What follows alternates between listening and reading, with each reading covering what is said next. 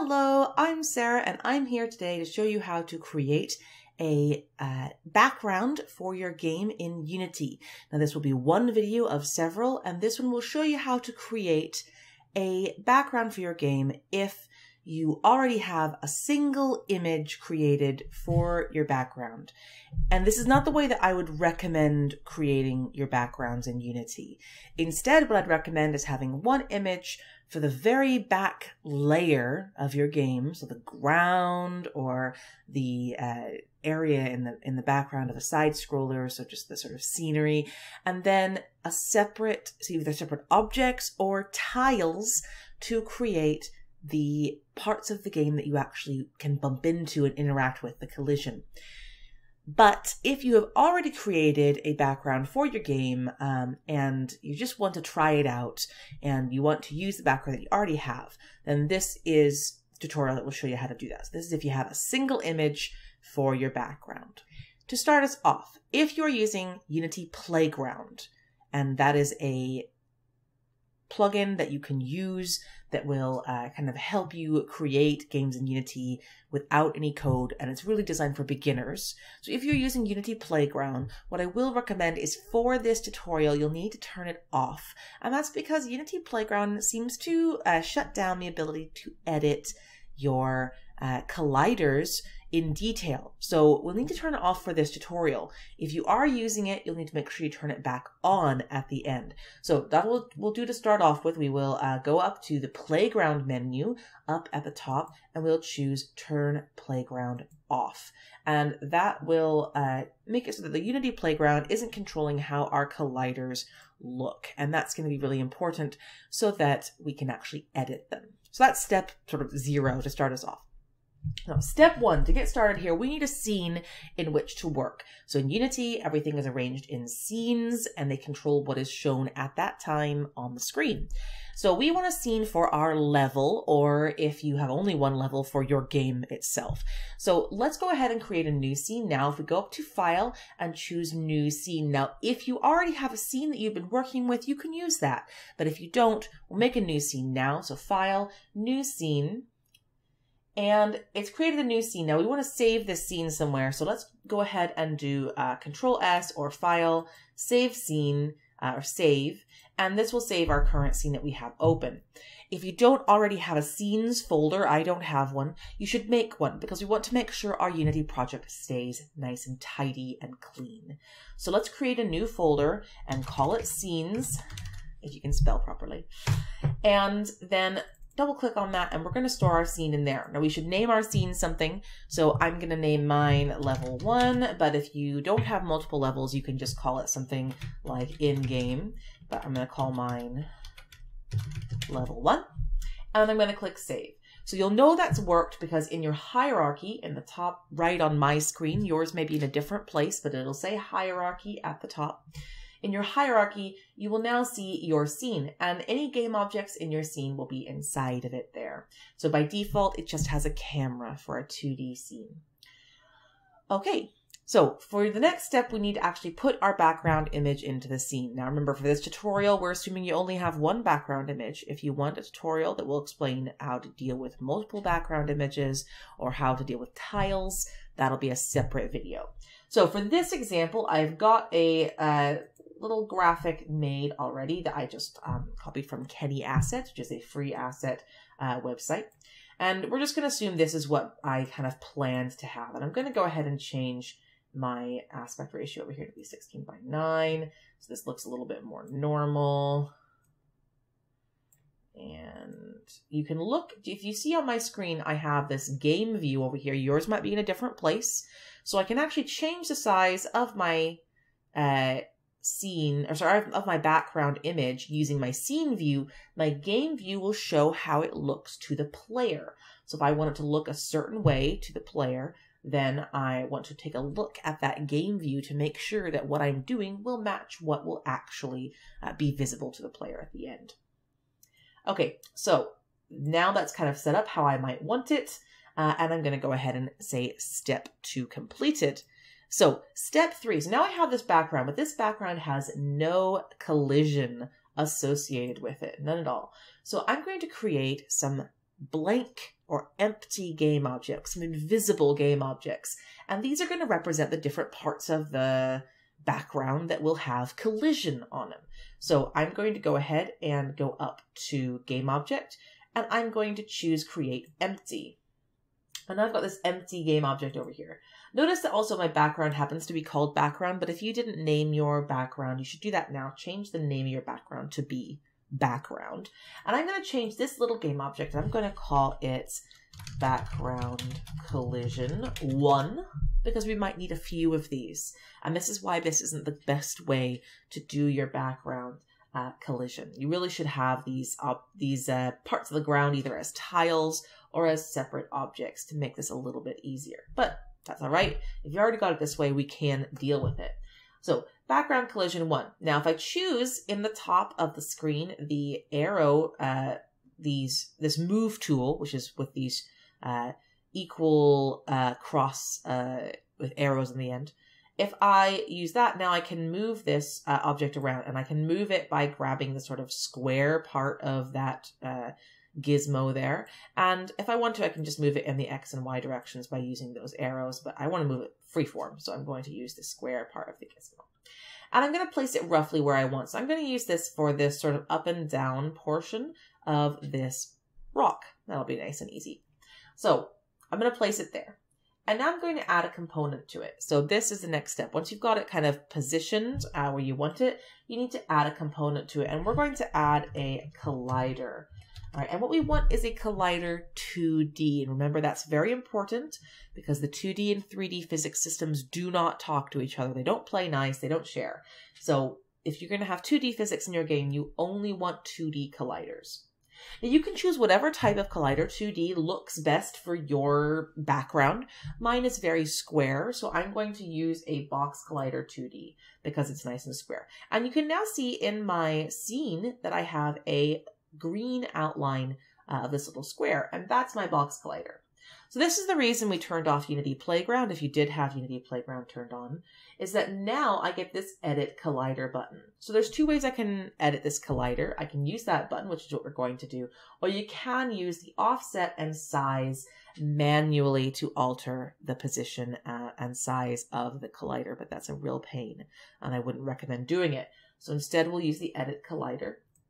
And now that I've clicked that, I've got these little uh, filled in squares on each uh, edge of my collider, and I can drag them out to where I want them to be. So I kind of want to set them up so that they're in the right place. Like so. And then I have that part of the collider done. So all you have to do now is repeat that until you have enough uh, colliders for all of your background. So I'm going to pause the video here, and when I come back, I will have done the collisions for all of these backgrounds. So I will see you in just a moment. Uh, you go ahead and pause the video now and do that yourself. Okay, hopefully you have now set up your uh, colliders for each portion of your background that needs to have collision. On my project, that's only three different areas, so I will click on them over here and you can see there's the first one that we did together, there's the second one, which is this bottom area here, and here's the third one, which is on the right-hand side. Notice that this first and second one are the same uh, object, sort of, the same, eh, in the background it looks like the same object, but I've used two separate game objects to actually represent the collision because it's a complex shape. It doesn't really work without that. Um, you can use more complicated colliders, such as polygon colliders, but they're a little bit more difficult to edit, and it's easy just to use two different box colliders. Now, we'll notice a problem. If I later go to move my background, and then I look at my collision, they're still where the background used to be. So I'm going to Control Z to go back to where it was. Now, we don't want that. We want to be able to move the background and not lose our colliders. So to do that, we can select our colliders, and I'm going to hold down shift while clicking. I've, I clicked on the first one. I'm not holding down anything right now. Click on the first one. Now I'm going to hover over the last collider and I'm going to hold down shift now and click on it. And that will select all of the colliders in between the first one and the last one. And with those selected, I'm going to click on one and drag. And I'm going to drag it into the background. And now these are children. I've made them children of the background. And what that means is when I move the background, these children move as well, and you can see that they are still where they're meant to be. I'm going to control Z because I don't really want my background way down there. But having them be children will make it a lot easier for you in the long run if you later decide to move your background around. Okay, we are now at the point where we can test, but we need a player to test with. So I created a player um, in a previous tutorial, and uh, hopefully you already have at this point a player that can move around, uh, because that's really the first step that you should be doing. So I'm going to go ahead and use my player that I already have. If you don't have one, now's a really good time to go and create a player that can move around to a basic ability. We're not going to cover that in this tutorial, but uh, my previous tutorials will cover it. So to do that, I've already got a player. I've got a prefab made for them, which means I've set them all up as a game object, and then I dragged that game object into my project window and basically saved all the settings. So now I can just replunk it out wherever I want, and I want to put it out in this scene. So I'm going to drag my player out here. It's just this little guy. Now, you may notice a problem immediately. When I tried to put him onto the scene, he's in the background, he's behind it, and that's not what we want. We want him to be visible in front of our background. So the reason that's happened is because every image in Unity has a sorting layer and a order within that layer. Now, if you're using Unity Playground, there's already some sorting layers defined, and we can just use those. If you're not using Unity Playground, you can set your own sorting layers. We're not going to cover that in this tutorial. Or you can just use the order in layer. Okay, so for now, we're going to use um, the sorting layer, and I'll show you how to do that. So if you click on your background, and you look over in the sprite render, and you scroll down to sorting layer, I'm going to choose background now. And now you see it's already, the player's already gone behind it. But just to make things really clear and careful, we're also going to set the sorting layer for our player. So if you click on the player, you look at their sprite renderer, you look at their sorting layer, and you'll see that it's set to default. We're going to change that to gameplay. So now the player is always going to be in front. So anything that is lower on that list will be in front. It's drawn later and therefore on top. It's a little bit confusing because you'd think the things that are on top would be at the top of the list. But instead, you should think of the list as the layers a painter is painting on his canvas. So the first thing the painter paints will be closest to the canvas and farther away from the viewer. Then the next thing he paints, the next thing on the list, will be painted on top of whatever previous stuff he painted and will be closer to the viewer and therefore seen on top of it. So things that are lower down the list are actually drawn closer to us and we can see them on top of the other items in the list. It's a little bit confusing, but you'll get used to it over time. All right. So our player is now drawing on top of that background. So my player that I have set up here has a, a movement script that lets him move from left to right and a jumping script. And this is using the Unity Playground. Um, so I'm going to go ahead and press play, and I'm going to see that he can jump, but he's not running into anything. And that is because I don't have a collider on the player himself. So if you don't already have a collider set up on your player, now is the time to do that. So to do that, I'm going to click on my player, have them selected there, and go all the way down to the bottom and click on Add Component. I'm going to give them a collider. Now, the collider you choose depends on your player. If they're quite a large and complicated geometry, say maybe a spaceship or something, you may wish to choose a polygon collider 2D. I'm going to choose a capsule collider, and for most platformer or top down style games, I would recommend a capsule collider. And the reason is that if you use a box collider, they tend to get stuck on things. Um, and a circle collider is too circular. So a capsule collider is usually close enough to the um, geometry of the player and it works pretty well. So I'm going to use a capsule collider and make sure you use a capsule collider 2D because the 2D and 3D physics systems do not interact. So we need to make sure we're always using 2D. Okay, so capsule collider 2D. I've added that now to my player. You can see that it's um, on them. I'm going to zoom in here and take a look at them. It's a little bit, uh, maybe not quite how we want. So I'm going to click on edit and I'm going to bring in these, uh, these sides a little bit so that they are more um, close to his body. So when you're editing your collider, you don't have to make uh, it match them exactly. In fact, it tends to be better if it's a little bit further in um, than you know. And there's bit there's bits of the sprite hanging out a little bit, and the reason for that is if your player, so you're using this collider to determine if your player gets hit by a bullet or something, it's much better to have them maybe should have gotten hit but don't than to have them get hit when the player expected them not to. So that's something that's really important to remember as a designer when you're setting up your colliders. Be a little bit conservative with them, make them a little bit closer in to the player um, than uh, rather than you know more wide, and that will feel fairer to your players. So that's why I've set up my collider as I have there, and I think that's probably all right. So now, if I press play, what should happen is that my player should sit, and they have sat on the um, ground. So the only issue that I'm going to have here is that if I move to the right, um, my player uh, falls over, and now he's kind of rolling around and, and rotating. This is not what we want, right? It's obviously not the desirable behavior. And the reason that's happening is because I've let the physics system control my player's rotation. And we don't want that. In this kind of a 2D platformer game, I don't want that. Um, most likely, most of your 2D games, you probably don't want that rotation unless you're making a very physics based game. So I'm going to change that, and to do that, I need to select my player, which they are selected right now. I need to go over to the rigid body 2D, and I need to go down um, to the uh, constraints. And if I click on constraints, I'll get the options freeze position, X and Y, and freeze rotation. So I'm going to choose uh, to freeze rotation by clicking on the Z box there, freeze rotation, and now my player uh, will not, I, I can choose to rotate the player if I want to, but the physics system will no longer rotate the player on its own. So what this means that I can now move about without having to worry about that. Now, if you're making a spaceship game, you probably don't want to do that um, because your game will uh, you need the rotation with the physics system to work properly.